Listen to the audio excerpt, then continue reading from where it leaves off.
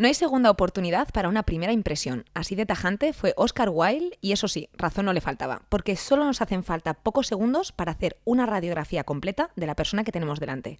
¿Por qué juzgamos tanto a los demás y a nosotros mismos? Comenzamos. Practica la psicología positiva, un podcast donde potenciamos el bienestar y la felicidad con Eva Rodríguez y Dafne Cataluña del Instituto Europeo de Psicología Positiva. Conoce más en iepp.es. Gracias por estar ahí al otro lado acompañándonos hoy a Dafne y a Rebeca. ¿Cómo estáis? Hola. Chispas. Uy.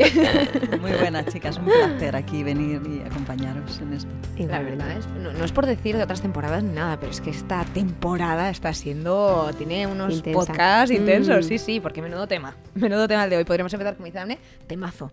Temazo. Vamos a empezar, si os parece, dándole un poquito de respuesta al título que le hemos puesto, que es ¿por qué nos juzgamos tanto, Dafne? Eh, y también a nosotros mismos, porque ¿de dónde es que nos sale tan automático? ¿De dónde sale, no? ¿Sí? ¿De dónde? De tu cerebro. Oye, pues mira, ya me quedo tranquila, gracias. No, Tal en cual. serio, en serio, en serio. Hay una investigación que hizo Rebecca Saxe, que es súper interesante, donde encontró la zona concreta que se activa en el cerebro.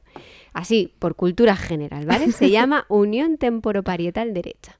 Ella encontró que se activa cuando tratamos de entender por qué los otros actúan como lo hacen, ¿no? Cuando Vale. intentamos adivinar un poco sus intenciones, qué deseos tienen o, o qué creencias, ¿no? Qué pensamientos. Y es que este tipo de situaciones es como muy proclive a que vengan lo que ya hemos hablado en otras ocasiones, esos sesgos cognitivos, ¿no? E- e- Esos atajos que a veces cogemos que nos hacen confundirnos. Y aquí me venía al recuerdo eh, en una sesión que tuve el otro día con una paciente que justo salió esto, ¿no? Y tenía que ver con que ella, pues por unas vivencias hace tiempo más en relación a su figura paterna, pues había asociado el detectar ciertos signos de arrogancia con falta de empatía, ¿no? con que no importaba hacer daño. Y esto le afectaba a veces en que cuando, pues por ejemplo, con alguien nuevo veía como que era altivo, ¿no? Pues ya entonces como que generaba rechazo y no le apetecía conocerle igual. Eso tampoco le afectaba mucho, no le importaba demasiado. Lo peor era que en la relación con su marido, cuando veía esa altivez, que en el fondo, analizando la situación con objetividad, luego vimos que era poner un límite ante algo que no le gustaba, como ella se sentía humillada, pues ya pegaba el salto a que era falta de empatía y no le importaba su dolor. Entonces, claro, tú imagínate pensar eso de tu pareja. Al conflicto nos lleva, lógico. Entonces les llevaba a discusiones constantes, saltaba ahí como una reacción poco conciliadora, ¿sabes? Y como muy automática, muy desde las tripas, que la llevaba a, a no querer eh, ir a hablar, a no querer, pues eso, eh, llegar a un consenso, ¿no? Y, generar un rechazo. Pues ahí estamos activando a veces esos, esos prejuicios, ¿no? Es que son súper, súper, súper, súper importantes, ¿no? Tienen un montón de repercusiones. También hay un, un estudio que se publicó en la revista Trends in Cognitive Science, que fue de 2014, que ya tiene, ya tiene tiempo, y concluyeron que las personas, tú fíjate, que valoran las intenciones de los demás, a veces eh, lo hacen con cosas tan, tan, tan insignificantes como nuestro gesto, nuestra cara, ¿no? En los rasgos de la cara. Y nos pueden influir en tomar decisiones tan importantes como, imaginaros, a quién votamos. O si esa persona es culpable o no de asesinato. Así, así nos llega a influir el tema de los juicios. Empezamos fuerte. Qué fuerte. Rebeca. pues te voy a hacer otra pregunta que además también eh, de nuestros oyentes nos llegó, nos llegaron esas dudas, porque muchas veces decimos que cuando hablamos de otra persona en realidad estamos hablando más de nosotros mismos que de la persona de la que hablamos, ¿no? Se podría decir más de, qué hay detrás de todas esas nuestras palabras cuando, cuando juzgamos. ¿Qué podríamos saber de esas personas que no paran de juzgar a otros? Vale, pues según un estudio de la Universidad de Nueva York, un estudio del año 2018, son las personas con mayores habilidades cognitivas superiores las que son más propensas y más susceptibles de juzgar a las personas, las demás personas, basándose Pues lo que en nos hacía falta, estereotipos. Y ya encima me siento mejor porque soy más listo, pues ya no lo cambio. Pues ya está. La explicación es, es curiosa, es interesante. Y es Es que, no sé para qué hemos preguntado. se debe a que son personas más rápidas a la hora de aprender y detectar esos patrones de esos estereotipos y a basar sus decisiones en ellos. O sea que tiene su, su explicación detrás. Con lo cual, aunque estas habilidades cognitivas superiores siempre se han asociado con resultados positivos, como el logro académico y la movilidad social, pues aquí vemos que también pueden acarrear este tipo de consecuencias pues más de tipo negativo, como crear con demasiada facilidad patrones para aprender y aplicar estereotipos sociales. Muy bien. Está siendo potente. Sabía que iba a ser potente este podcast.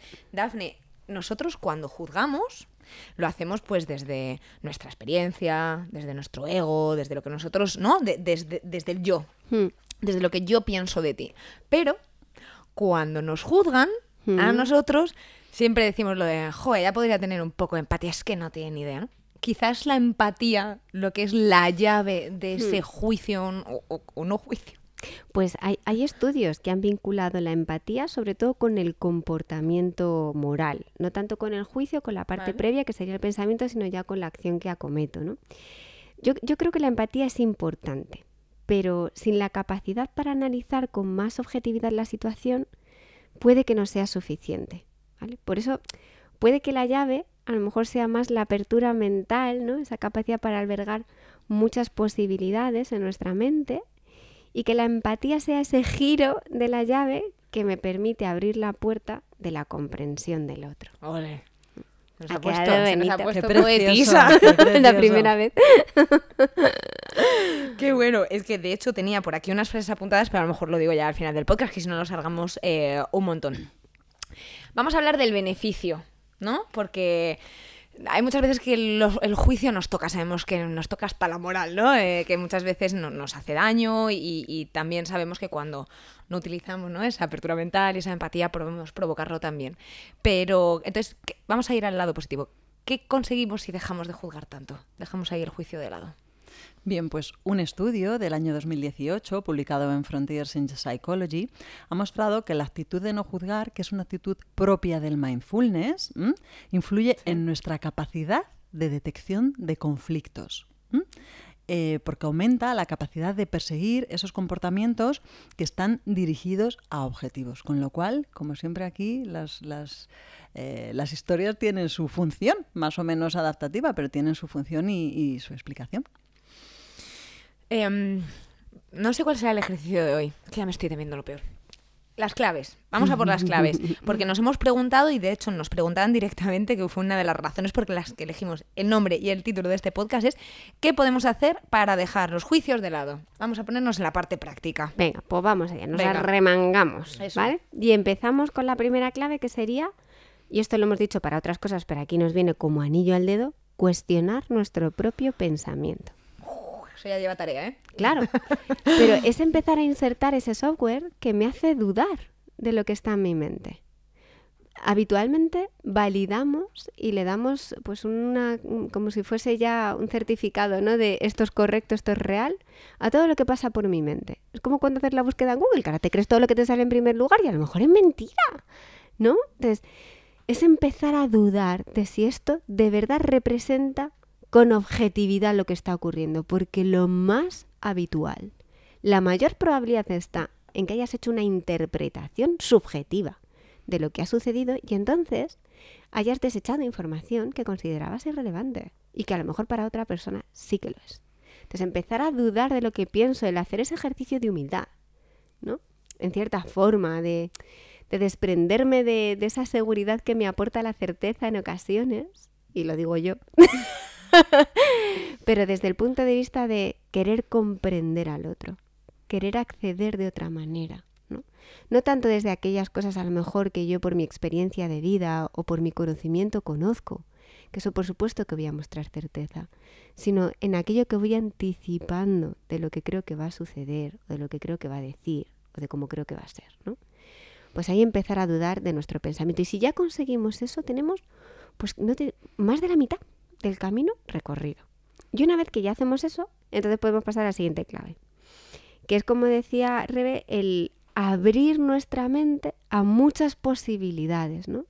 Al no juicio. Y desde ahí sería esa capacidad de observación. Observar sin intervenir, porque parece que a nivel mental y a veces conductual tenemos siempre que reaccionar, ¿no? Tenemos que estar poniéndole, pues eso, como una descripción, una etiqueta a lo que ha hecho, a lo que ha dicho, a lo que ha pasado en, en los demás y en uno mismo, ¿eh? Entonces, esa interpretación, esa etiqueta, hace que perdamos nuestra capacidad para observar otras cosas que no cuadren con esa hipótesis que ya he formulado. Así que observar, ¿vale? Como cuando los antropólogos estaban con su blog de notas y su lápiz viendo a los eh, chimpancés como cada movimiento, cada brazo, cada tal, sin tener que atribuir eso a nada, solo observar. Y la tercera es que si hemos caído en un prejuicio ya y no lo hemos podido evitar, pues aquí yo fíjate, animo a hacer un ejercicio de honestidad. No en tenerse lo que decir al otro, que a lo mejor nos expone algo que no deseamos, sino de forma interna, ¿no? El reconocer que ahí se me ha ido, se me ha ido un poco el juicio. Hacer ese ejercicio de honestidad y entonces activar una fortaleza que a mí me parece aquí, que es la curiosidad. La curiosidad pura, porque la curiosidad no conlleva juicio. Así que tanto si lo queremos prevenir como si queremos intervenir, ahí quedan las claves. Las claves que ya son tres ejercicios, ¿eh? he, de decir, he de decir. Pero qué bonito eh, también lo que antes has mencionado, Rebe, que siempre en algún lado nos aparece el mindfulness. Sí. ¿Verdad? Siempre, el- en este caso, el no juicio. ¿Va por ahí el ejercicio?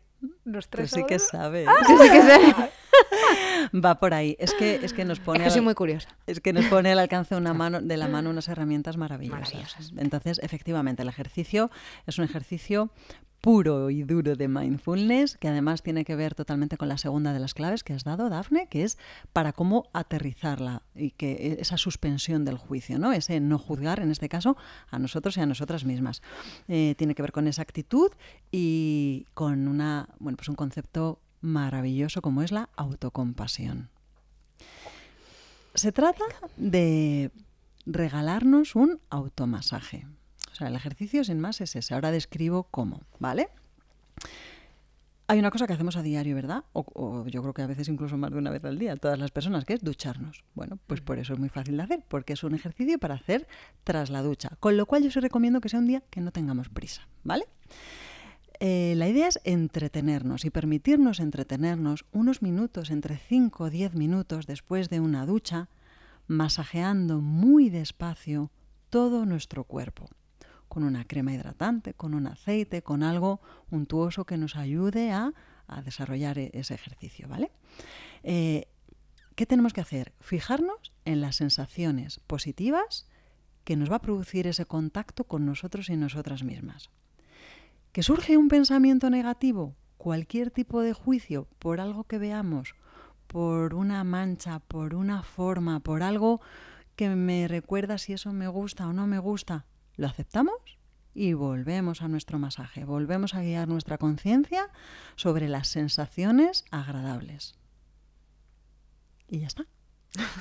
Y ya está. Por eso. Y ya esa- está, estamos esa deseando todo Empezarlo. ponernos a ello, vamos. Desde esa observación, volver a eso y regalarnos eso. Y ya está, no hay que llegar a ninguna conclusión. Como tú decías, no hay que interpretar más nada. ¿Puedo hacer un apunte, Re? Por supuesto. Eh, en este ejercicio, incluso el no buscar ni que sea agradable ni desagradable. ¿no? El no buscar ni- ningún tipo de emoción que no sea la mera sensación física. Porque esa es la pura actitud mindfulness, ¿no? El que yo estoy masajeando y solo focalizo mi atención en la presión, ¿no? En cómo noto. Y, y si hay algo que me desagrada, pues lo, lo leo y dejo que vaya a otro lugar. Lo leo, pero sin pretender que me guste, que me genere algo pues que me haga sentirme bien conmigo misma, ni muchísimo menos, sino simplemente la atención a, a la parte física, ¿no? A lo que está ocurriendo en el momento, que no está aquí y me señalo mi cabeza. Lo que has dicho antes, ¿no? De como meras observadoras de campo, pero ahí, Ahí de ese momentazo.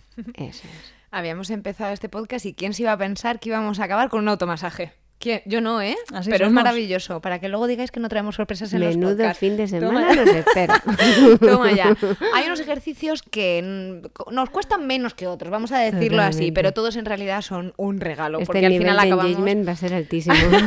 al final acabamos consiguiendo algo genial. En este caso va a ser incluso más sencillito, que va a ser un masaje. Pues eh, te lo agradezco, Rebeca. Voy a practicarlo, ¿eh? Voy a practicar Venga, todo el por fin de semana. favor, Atención comparte plena, el resultado, que no todo sea ahí mental. Venga, luego nos cuentas. Os- os- seguro ya os puedo adelantar que a mí lo del no juicio es algo que practico mucho porque me cuesta y por eso sé que lo tengo que poner en marcha. Así que va a ser todo un reto. Eh, la semana que viene más, no sé si mejor, pero encantadísimas de estar aquí con Absolutamente. y Rebeca hoy. Muchísimas gracias. A vosotras, un placer, como siempre. Un abrazo muy fuerte. Si has disfrutado con este podcast y quieres contribuir al bienestar de los demás, compártelo.